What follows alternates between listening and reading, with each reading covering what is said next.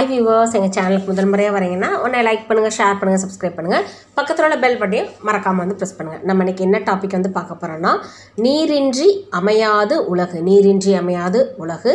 இயல் இரண்டு standard ninth school புக்கில் வந்து இருக்குது தமிழ் புக்கு ஆல்ரெடி நம்ம சேனலில் வந்து பார்த்திங்கன்னா standard sixth seventh eighth Tamil book நடத்தி போட்டிருக்கோம். அது மட்டும் இல்லை மேக்ஸ் வீடியோஸும் ஃபிசிக்ஸ் வீடியோஸும் இருக்குது இதெல்லாம் நீங்கள் பார்க்கணுன்னா இந்த வீடியோ கீழே உள்ள டிஸ்கிரிப்ஷன் பாக்ஸை ஓப்பன் பண்ணி பார்த்தீங்கன்னா இந்த வீடியோஸ் எல்லாம் நீங்கள் வந்து பார்த்துக்கலாம். பார்க்கலாம். நீரின்றி அமையாது உலகு. என்ன சொல்லியிருக்காங்கிறது? ஒன்றுன்னா பார்க்கலாம். இவ்வாறு தமிழர்கள் தண்ணீரின் தேவையை நன்றாக புரிந்து கொண்டு நீர் மேலாண்மையை அறிவியல் நோக்கில் கட்டமைத்தனர். அவற்றை இன்றைய கால சூழலுக்கு ஏற்ப வளப்படுத்துவது நம் அனைவரின் கடமையாகும். நன்றி வணக்கம். அடுத்து பார்க்கலாம். அரங்கத் தலைவர். ஒரு நாட்டின் வளர்ச்சி போக்கை நெறிப்படுத்துவதே நீர் மேலாண்மைதான் என்பதை கருத்தாளத்துடன் நண்பர் ஆமினா சிறப்பாக விளக்கினார். இப்போது கேள்வி நேரம். பார்வையாளர்கள் வினாக்களை எழுப்பலாம்.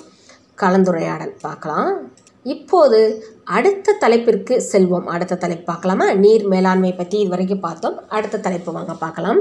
தமிழ் மக்களும் தண்ணீரும் என்னும் தலைப்பில் நண்பர் முகிலன் நமது தமது கருத்தை தமது கருத்துரையை முன்வைக்க வருகின்றார். பார்க்கலாம். முகிலன் வந்து என்ன கருத்துரை சொல்கிறாருன்னு எதை பற்றி தமிழ் மக்களும் தண்ணீரும். அனைவருக்கும் அன்பு வணக்கம். நாம் வாழும் தமிழ்நாடு வெப்பமண்டல பகுதியில் உள்ளது. வாழும் தமிழ்நாடு வந்து பாருங்கள் எந்த மண்டலத்தில் உள்ளதுன்னு பார்த்தீங்கன்னா வெப்பமண்டல பகுதியில் உள்ளது. எனவே நீர் சார்ந்த தன்னுணர்ச்சி தமிழக மக்களுக்கு மிகுதி. தாயை பழித்தாலும் தண்ணீரை பழிக்காதே என்பது சொல் வழக்கு. தாயை பழித்தாலும் தண்ணீரை பழிக்காத என்பது சொல் வழக்கு தமிழ் மரபில் நீரும் நீராடலும் வாழ்வியலோடு பிணைக்கப்பட்டவையாக விளங்குகின்றன. பாருங்கள் தமிழரோட மரபில் வந்து பார்த்திங்கன்னா நீரும் நீராடலும் வாழ்வியலுக்கு பிணைக்கப்பட்டவையாக விளங்குகின்றன. என்பார் பேராசிரியர் தோ. பரமசிவன். இதை கொடுத்து கேட்கலாம். ரொம்ப இம்பார்ட்டன்ட் தமிழ் மரபில் நீரும் நீராடலும் வாழ்வியலோடு பிணைக்கப்பட்டவை ஆக விளக்குகின்றனர். யார் சொன்னா யார் சொன்னார்னு பார்த்தீங்கன்னா அதாவது என்னென்னா தமிழ் மரபில் நீரும் நீராடலும் வாழ்வியலோடு பிணைக்கப்பட்டவையாக விளங்குகின்றனன் என் விளங்குகின்றனன்னு சொல்லி சொன்னது யாருன்னு பார்த்தீங்கன்னா தோ பரமசிவன் அவர் குளித்தல் என்ற சொல்லை குறித்து கூறும் கருத்துக்கள் நமக்கு புதிய சிந்தனைகளை தருகின்றன. பாருங்கள் அவர் சொன்ன குளித்தல் என்ற சொல்லை குறித்து கூறும் கருத்துக்கள் வந்து பார்த்திங்கன்னா நமக்கு புதிய சிந்தனைகள் வந்து தருகின்றன. அதை பற்றி பார்க்கலாம்.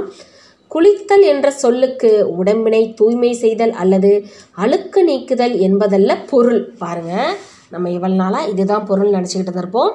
குளித்தல் என்ற சொல்லுக்கு உடம்பினை தூய்மை செய்தல் அல்லது அழுக்கு நீக்குதல் என் என்பதல்ல பொருள். சூரிய வெப்பத்தாலும் உடல் உழைப்பாலும் வெப்பமடைந்த உடலை குளிர வைத்தல் என்பதே அதன் பொருளாகும். பாருங்க. சூரிய வெப்பத்தாலும் உடல் உழைப்பாலும் வெப்பமடைந்த உடலை குளிர வைத்தல் என்பதுதான் குளித்தல் என்பதனுடைய பொருள். குளிர்த்தல் என்பதே குளித்தல் என்று ஆயிற்று என்பது அவரது விளக்கம். பாருங்க.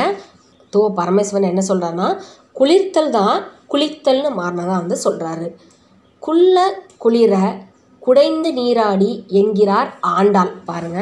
ஆண்டாள் சொன்னது.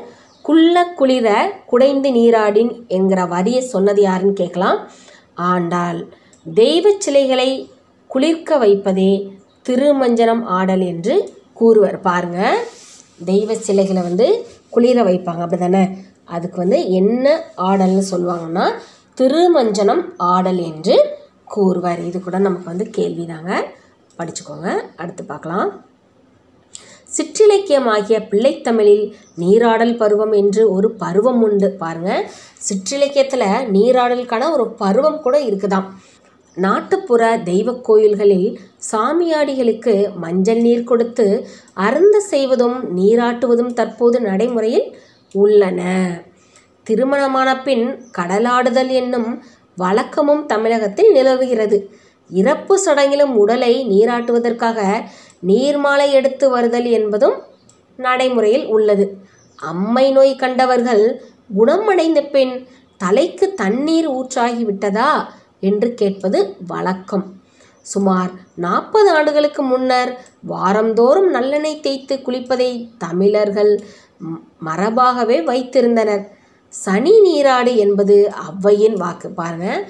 சனி நீராடு என்பது யாருடைய வாக்குன்னு கேட்கலாம் நம்ம கேள்வி. ஔவையாரின் வாக்கு. இன்னொரு கேள்வி இன்னொரு கேள்வி கூட நமக்கு வந்து கேட்கலாம். சுமார் நாற்பது ஆண்டுகளுக்கு முன்னர் வாரந்தோறும் நல்லெண்ணெய் தேய்த்து குளிப்பதை தமிழர்கள் மரபாக வைத்திருந்தனர். எத்தனை ஆண்டுகளுக்கு முன்னர்னு கூட நமக்கு வந்து கேட்கலாம். நாற்பது ஆண்டுகள்.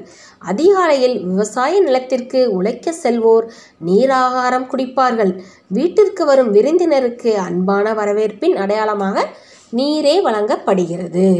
இவ்வாறு தமிழக மக்களின் குடும்பம் தொடங்கி சமூகம் வரை அனைத்திலும் தண்ணீர் முக்கிய பங்காற்றுகிறது. நன்றி வணக்கம். முகிலன் வந்து அவரோட உரையை வந்து அழகாக வந்து முடிச்சிட்ட முடிச்சிருக்காரு. அவரோட கருத்தை அடுத்து நம்ம இந்த டேபிளில் என்ன கொடுத்துருக்காங்க வந்து பார்க்கலாம். சரியா? டேபிளை பார்க்குறதுக்கு முன்னாடி மேலே இருக்குது அதை பார்த்துட்டு அப்புறம் டேபிளை பார்க்கலாம். அரங்கத் தலைவர் கேள்வி நேரம் கலந்துரையாடல் நடைபெறுகிறது. ஓகே. அடுத்து இன்றைய வாழ்வில் தண்ணீர் என்னும் தலைப்பில் கருத்துரையாற்ற வருகிறார் மெர்சி. ரெண்டு டாபிக் முடிச்சாச்சு. மூணாவது டாபிக் வந்து என்னது? இன்றைய வாழ்வில் தண்ணீர். யார் பேச வராங்க? மெர்சி. திட்பமும் நுட்பமும். இதை பற்றி நம்ம வந்து பார்க்கலாம். பார்த்துட்டு அதுக்கப்புறம் வந்து நம்ம வந்து பார்க்கலாம். சோழர் கால குமிழித்தும்பு. சோழர் கால குமிழித்தும்பு. பார்க்கலாம். மழைக்காலங்களில் ஏரி நிரம்பும் போது நீந்துவதில் வல்லவரான ஒருவர் தண்ணீருக்குள் சென்று களிமுகத்தை அடைந்து குமிழித்தும்பை மேலே தூக்குவார். அடியில் இரண்டு துளைகள் காணப்படும். மேலே இருக்கும் நீரோடி துளையிலிருந்து நீர் வெளியேறும். கீழே உள்ள சேரோடி துளையிலிருந்து நீர் சுழன்று சேற்றுடன் வெளியேறும். இதனால் தூர்வார வேண்டிய அவசியம் இல்லை. பாருங்க. குமிழி தூம்புனா என்னன்னு பாருங்கள் மழைக்காலங்களில் ஏரி வந்து நிரம்பும் போது நீந்துவதில் வல்லவரான ஒருவர் தான் தண்ணீருக்குள் சென்று களிமுகத்தை அடைந்து குமிழி தும்பை மேலே தூக்குவார். மேலே தூக்குவார். உங்களுக்குலாம் தெரியும். இப்போல்லாம் நம்ம வந்து அணைக்கட்டில் வந்து பார்த்திங்கன்னா டேம் ஓப்பன் பண்ணுறதுக்கு நமக்கு வந்து ரொட்டேஷன் மாதிரி கொடுத்துருக்காங்க. நம்ம மேலேருந்தே இருந்து ரொட்டேட் பண்ணலாம். இப் முன்னாடி காலத்தில் முன்பு வந்து பார்த்திங்கன்னா என்ன நடக்குதுன்னு பாருங்கள் தண்ணீருக்குள் மூழ்கி களிமுகத்தை அடைந்து தான் பார்த்தீங்கன்னா அவங்க வந்து அந்த குமிழி தூம்பை வந்து பார்த்தீங்கன்னா மேலே தூக்கியிருக்காங்க. அடியில் வந்து பார்த்தீங்கன்னா இரண்டு துளைகள் காணப்படுமாம். மேலே இருக்கும் நீரோடி துளையிலிருந்து நீர் வந்து வெளியேறும். கீழே உள்ள சேரோடு தில் துளையிலிருந்து நீர் சுழன்று சேற்றுடன் வெளியேறும். இதனால் தூர்வார வேண்டிய அவசியம் இல்லை. அழகாக சொல்லியிருக்காங்க. பாருங்கள் குமிழி தூம்பு செயல்படும் விதம். பாருங்கள் அழகாக நமக்கு வந்து ஃபிகரில் வந்து நமக்கு வந்து கொடுத்துருக்காங்க. இந்த இருக்குது பாருங்கள் குமிழி தூம்பு. துளை வந்து இந்த துளை தான் இங்கே கொடுத்துருக்காங்க பாருங்கள் அடுத்து வந்து மரச்சக்கை. இந்த மரச்சக்கை தான் உள்ளே வந்து வச்சுருப்பாங்க. அடுத்து பாருங்கள் இதுதான் வந்து தூம்பு.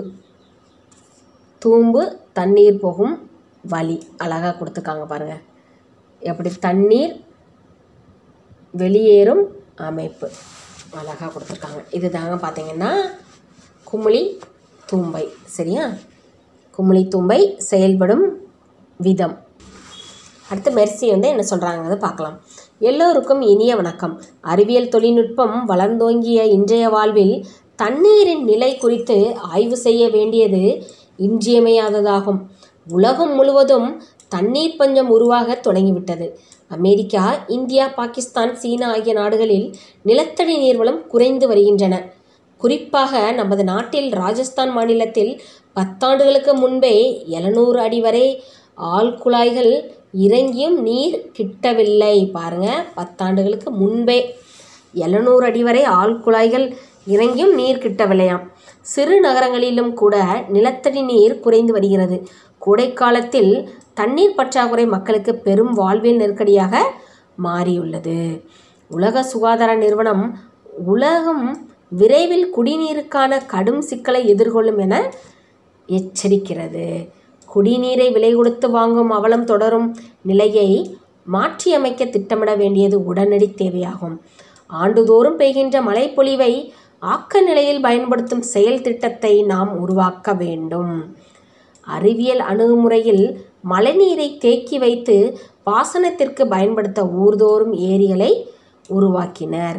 நம் முன்னோர் அவற்றை தூர்வாரி முறையாக பராமரித்து பரா முறையாக பராமரிப்பு பணிகளை செய்தல் வேண்டும்.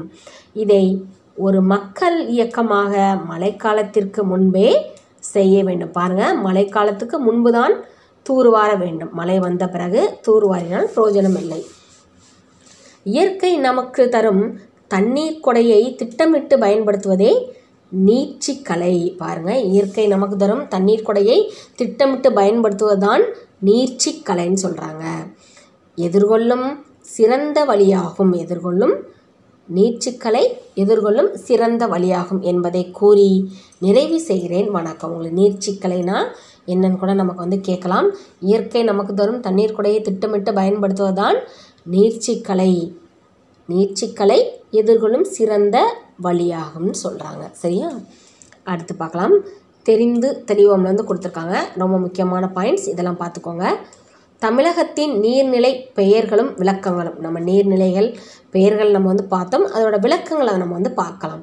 அகழின்னு என்னென்னு பாருங்க.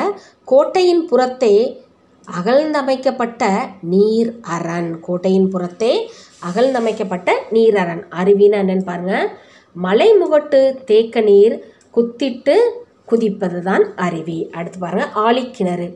கடல் அருகே தோண்டி கட்டி கிணறு. ஆழிக்கிணறு தான் என்னன்னு பாருங்கள் கடல் அருகே தோண்டி கட்டிய கிணறுக்கு பேர் தான் ஆழிக்கிணறு. அடுத்து பாருங்கள் ஆறுனா என்னன்னு பாருங்கள் பெருகி ஓடும் நதி.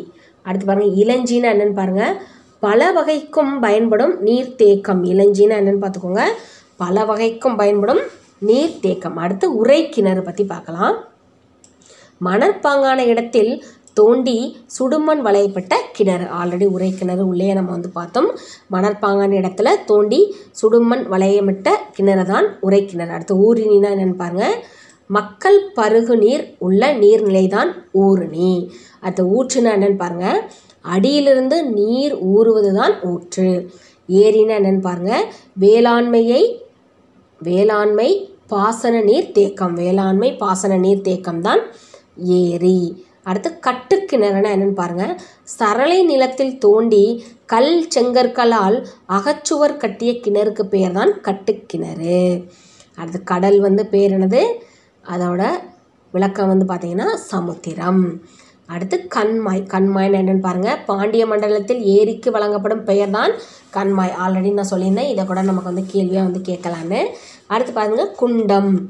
சிறியதாய் அமைந்த குளிக்கும் நீர்நிலை சிறியதாய் அமைந்த குளிக்கும் நீர்நிலைக்கு பேர் தான் குண்டம். அடுத்து குண்டுன்னா பாருங்கள் குளிப்பதற்கேற்ற சிறு குளம் பாருங்கள் குண்டு குண்டுன்னு சொல்லி கிண்டல் கூட அடிப்பாங்க.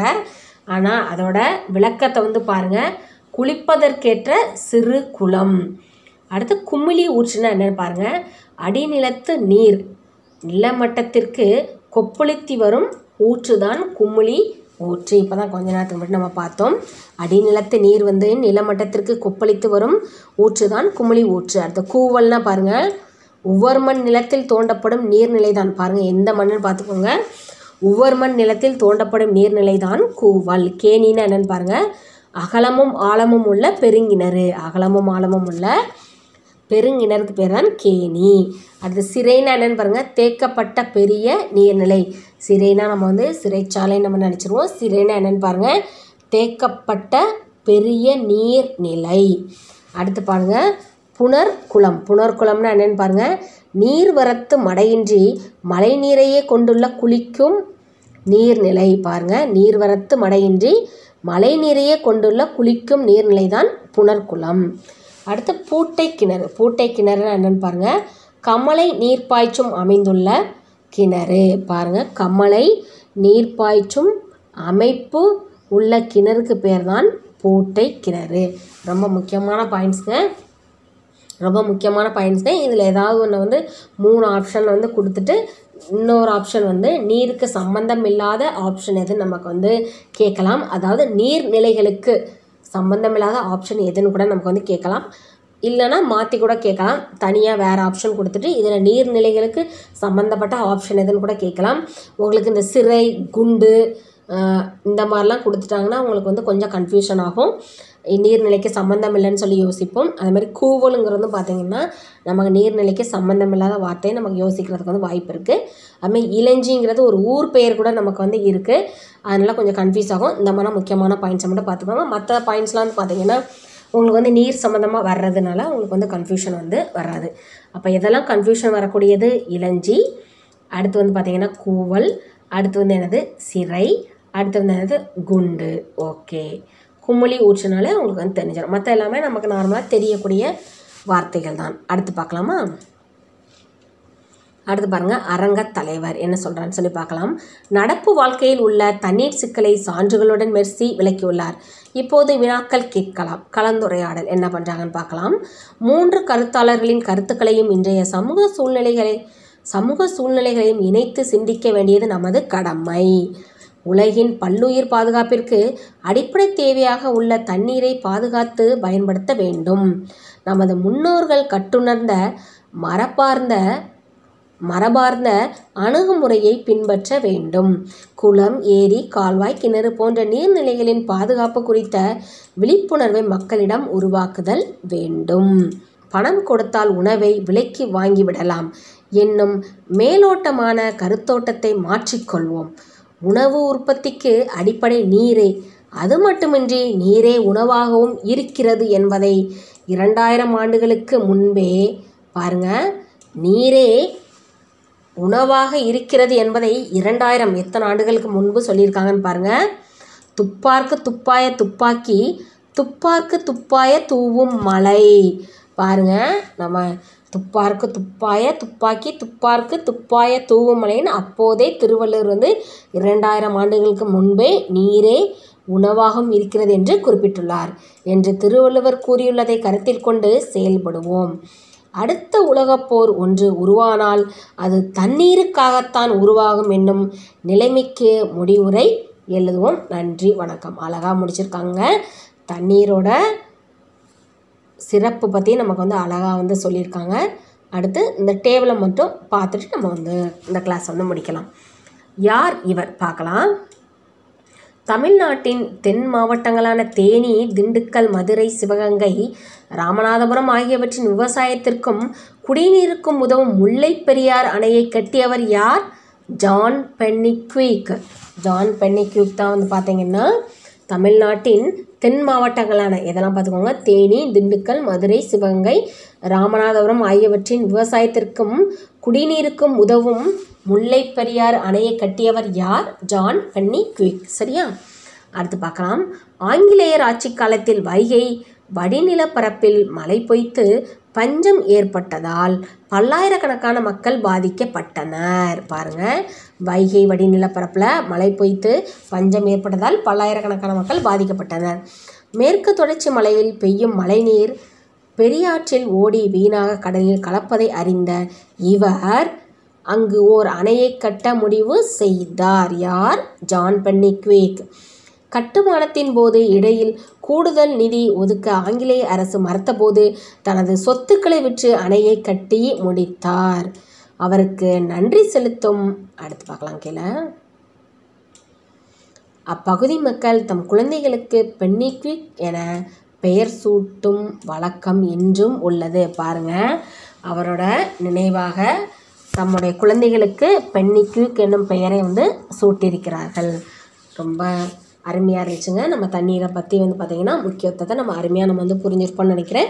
இதில் முக்கியமான பயன்ஸ்லாம் நிறைய வந்து இருக்குது நீங்கள் வந்து கவனமாக வந்து படிச்சுக்கோங்க.